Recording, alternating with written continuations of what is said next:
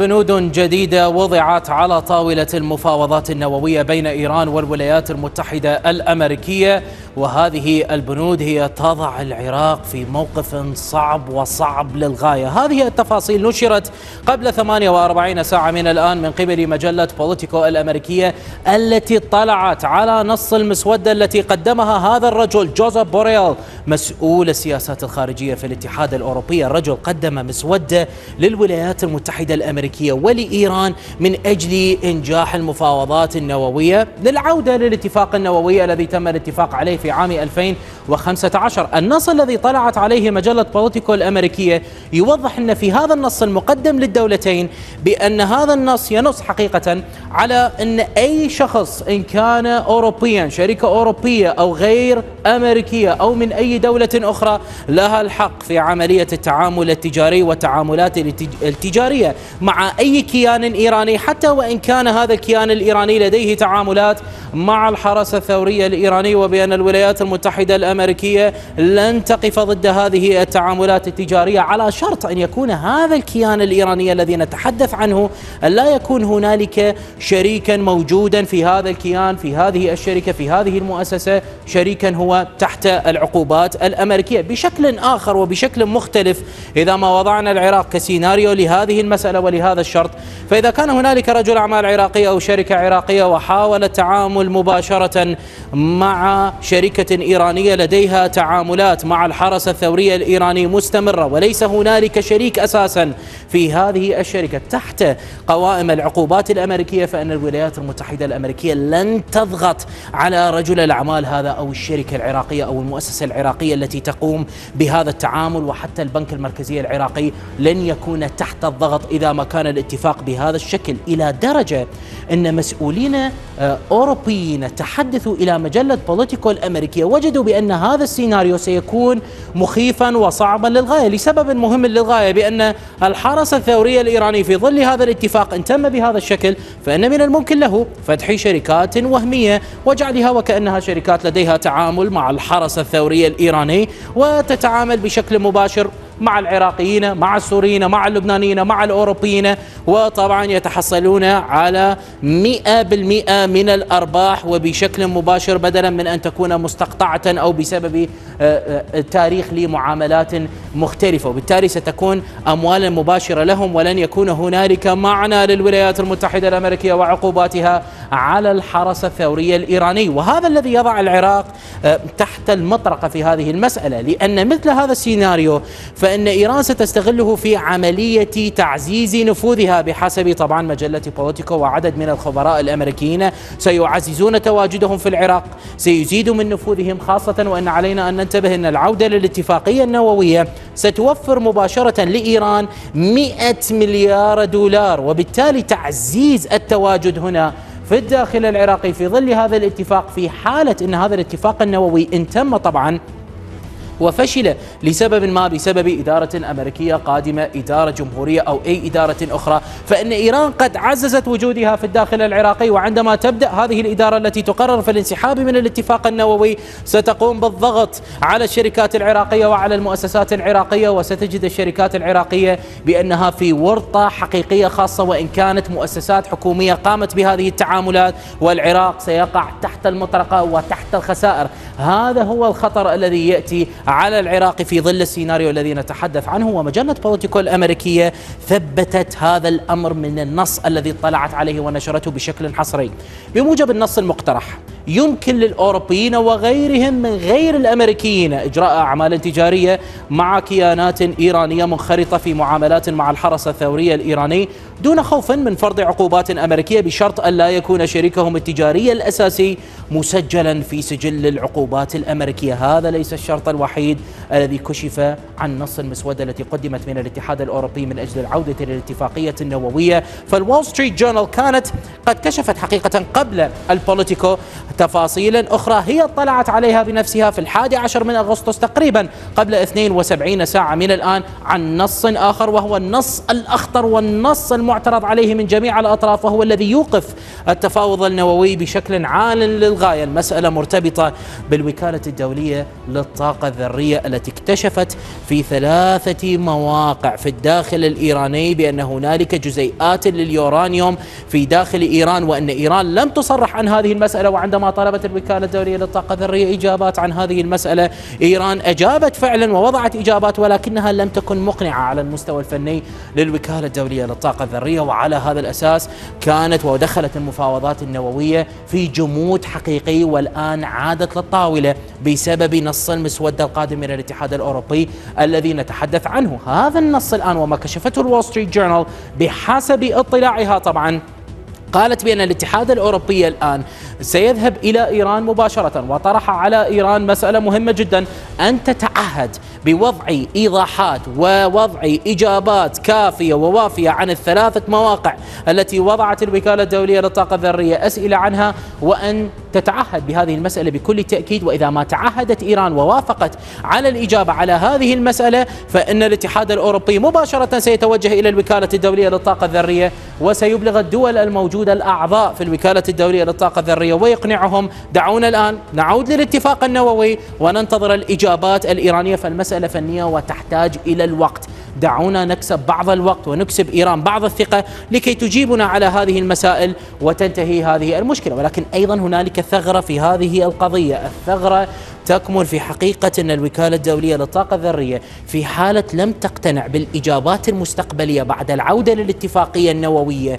من ما يأتي من إيران من إجابات فهذا يضع مرة ثانية. الاتفاقية النووية تحت الخطر ومن الممكن أن يكون هنالك إلغاء أو انسحاب من هذه الاتفاقية النووية. السؤال الأهم هل ستكون هنالك عودة أو لا؟ متى سنسمع عن هذه الأنباء؟ هذا هو السؤال الأهم. بحسب مجلة بوليتيكو الأمريكية أكدت بأن يوم غد الخامس عشر من أغسطس هو الموعد الأخير الذي قدمه الاتحاد الأوروبي لإيران وللولايات المتحدة الأمريكية للإجابة بنعم أو لا على النصين التي اللذين طبعا كشفتهما الول ستريت جورنال وكذلك مجلة بوليتيكو الأمريكية. هل سيكون هل ستكون الإجابة الأقرب بنعم أم بلا الواضح جدا بحسب المؤشرات من الجانبين بأنها ستكون بنعم على الأقل من أحد الدبلوماسيين الإيرانيين الذي صرح إلى وكالة إيرنا. وثبتتها طبعا رويترز وكالة رويترز وقالت الآتي عن هذا الدبلوماسي ونقلت عنه قال إن اقتراح الاتحاد الأوروبي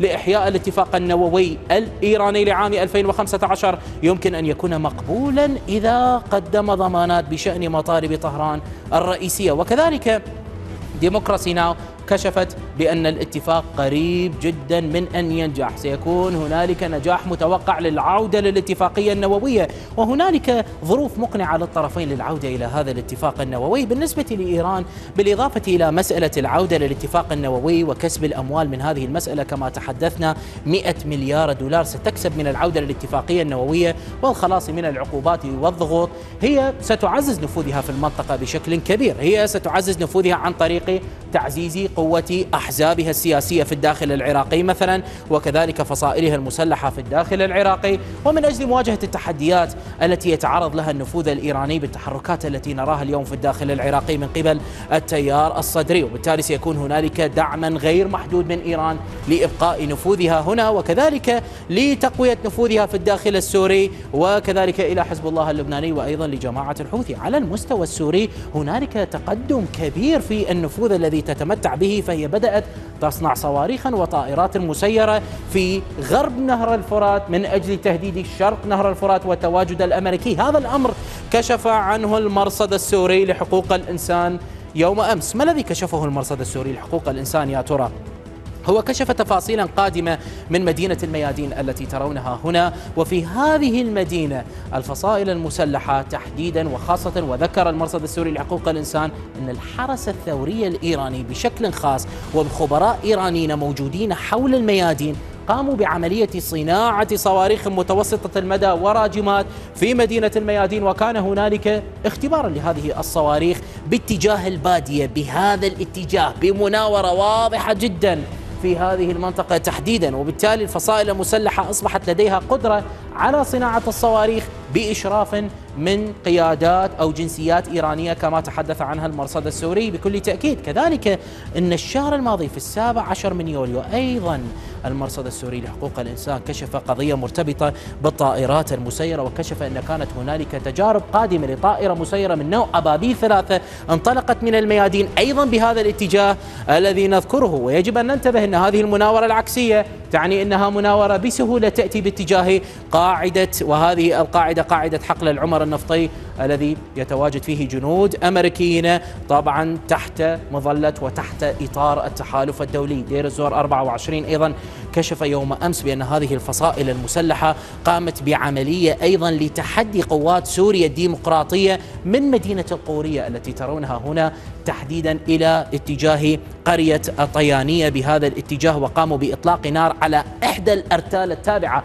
لقوات سوريا الديمقراطية. واضح جدا هنالك تحدي ليس بالسهل في هذه المنطقة وهو يوضح أيضا أن التقارير الكثيرة التي سمعنا عنها من المرصد السوري لحقوق الإنسان ودير الزور 24 وكذلك كل الوكالات التي تأتي من داخل سوريا التي ترصد العجلات أو الشاحنات التي تدخل عبر معابر غير رسمية من الداخل العراقي إلى الداخل السوري إلى البوكمال وإلى كل هذه المناطق. واضح جدا بأنها أتت بأكلها وبدأت عملية صناعة الصواريخ والطائرات المسيرة. نفوذ كبير مهم بالنسبة لإيران.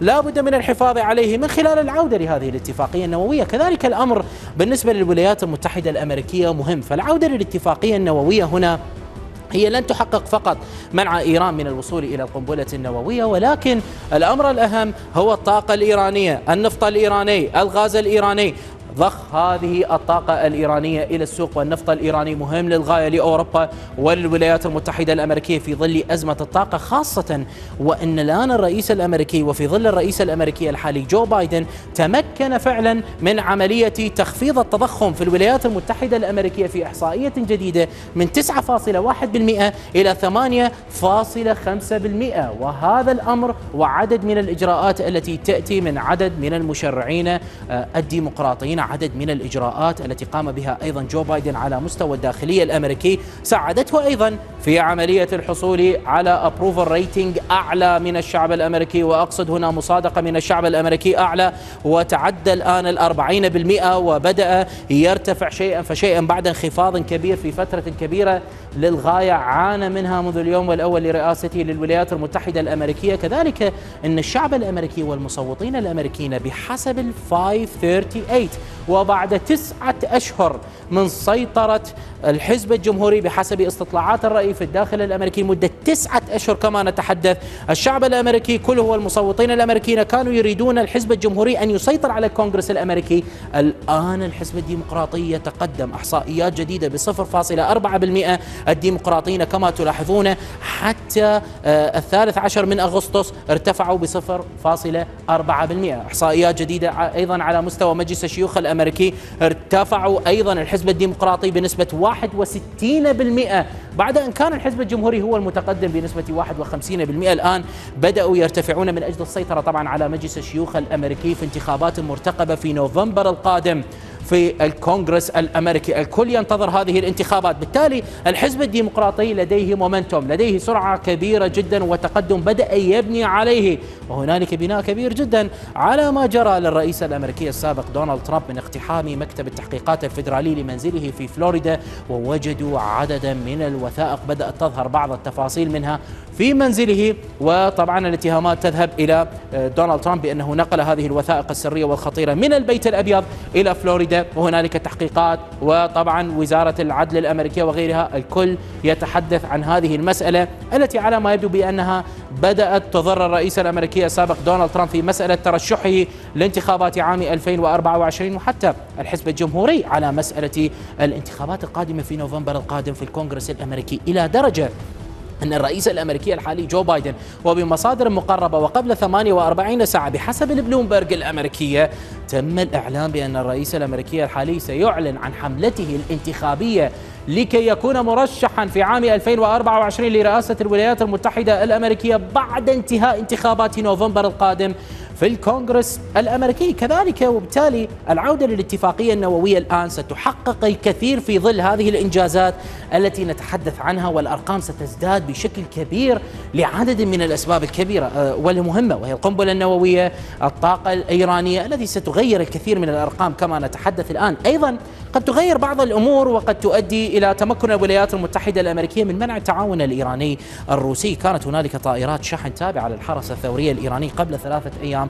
ظهرت بهذا الشكل وهي تحلق ووصلت إلى موسكو وهذا التسجيل الخاص بهذه الطائرات من بويا إير وهي طبعا من خطوط الجوية لبويا التابعة للحرس الثوري الإيراني. يوم أمس أيضا بحسب ال Flightradar 24 كانت هنالك طائرة تابعة للحرس الثوري الإيراني. شحن طبعا وطائرات شحن توجهت إلى موسكو مرة ثانية وهنا كما تلاحظون في الرابع عشر من أغسطس هي قد وصلت وكانت هذه الرحلة واضحة جدا في ظل اتهامات بتعاون إيراني مع روسيا في إرسال الطائرات المسيره والسلاح وغيرها من هذه التفاصيل. جو بايدن يبحث عن عملية إغلاق لهذا الطريق. السؤال الأهم هذه الاتفاقية ونص المسوده الذي طرحته وطرحه الاتحاد الأوروبي من أجل عودة المفاوضات النووية أو العودة للاتفاق النووي. هل يعني بأنه تم بيع العراق والشرق الأوسط لإيران وإن إيران ستهيمن على الشرق الأوسط. هذا الأمر اختلفت معه الأتلانتيك كونسل الأمريكية ووضعت الأسباب لهذا الأمر وقالت من الواضح أن ايا من اللاعبين الإقليميين تقصد إيران والولايات المتحدة لا يملك القدرات الكافية لقيادة الشرق الأوسط بمفرده. إن النموذج الإيراني ليس لديه ما يكفي من الجاذبية والقبول. وأضافت لا يمكن لأي قوة إقليمية أو من خارج المنطقة أن تخلق نظاما إقليميا مثاليا بناء على مصالحها في الشرق الأوسط. يشير التاريخ إلى أن استمرار توازن القوى هو النتيجة المستقبلية الأكثر منطقية. المسائل التي كشفتها طبعا آه، مجلة بوليتيكو الأمريكية والوول ستريت جورنال وتحديدا ما كشفته بوليتيكو الأمريكية عن أن أي شخص أوروبي وغير أمريكي آه، يمكنه التعامل مع أي شركة إيرانية لديها تعاملات مع الحرس الثوري الإيراني أزعج الداخل الأمريكي كثيرا خبراء. على سبيل المثال مثل جيسون بروتسكي ونورمان رول انزعجوا تماما من هذه التفاصيل ووجدوا بأنها مثيرة للسخرية خاصة وأن كانت هنالك معلومات قادمة من مكتب التحقيقات الفيدرالي ووزارة العدل الأمريكية حول تهديدات من الحرس الثوري الإيراني لإغتيال جون بولتون مستشار الأمن القومي السابق في البيت الأبيض ومايك بومبيو وزير الخارجية الأمريكية السابق ب 300 ألف دولار لجون بولتون ومليون دولار لإغتيال مايك بومبيو. كيف لك أن تتفق وأن تضع هذا الشرط الذي يمكن الحرس الثوري الإيراني من الوصول إلينا في الولايات المتحدة الأمريكية عن طريق أشخاص غير أمريكيين أو أوروبيين في ظل هذه التهديدات التي تتحدث عنها. هذا ورأي الخبراء الأمريكيين خاصة وأنهم يركزون تماما على ما جرى لسلمان رشدي المهدد منذ عام 1989 بالقتل. تعرض إلى طعنات مؤخرا بما يقارب الأكثر من عشر طعنات الحديث عن 14 طعنة تعرض لها هذا الرجل. والسؤال هنا والواضح جدا بالنسبة للغرب أنهم بدأوا يلاحظون الصحف الإيرانية مثل كيهان المقربة للمرشد الأعلى الإيراني. احتفلت بالطعنات لسلمان رشدي بعد كل هذه السنين ويوضح النفس الطويل لإيران في عملية رغبتها بالانتقام بل أن التهديدات واضحة لدونالد ترامب وبومبيو بأنهم سيلاقون نفس المصير بحسب التهديدات القادمة في الصحف الإيرانية. بالتالي كيف لك يا بايدن أن تتفق مع إيران في ظل هذه التهديدات المستمرة من الحرس الثوري الإيراني؟ وبالتالي جيسون براتسكي وجد الآتي. حتى بالنسبة لأولئك الذين يدعمون العودة إلى خطة العمل الشاملة المشتركة يجب عليك أيضا دعم سياسة أكثر قوة بشأن التهديدات غير النووية التي تشكلها إيران. إنها الطريقة الوحيدة لأية صفقة مع إيران لتبقى على قيد الحياة. تجاهل هذا الأمر سيؤدي إلى انهيار الدبلوماسية. السؤال الأهم هل ستكون هذه الشروط كافية لإقناع الولايات المتحدة الأمريكية وإيران يوم غد بالإجابة بنعم وكيف سيكون وضع منطقة الشرق الأوسط في ظل هذه الشروط التي كشفتها الول ستريت جورنال وكذلك مجلة بوليتيكو الأمريكية.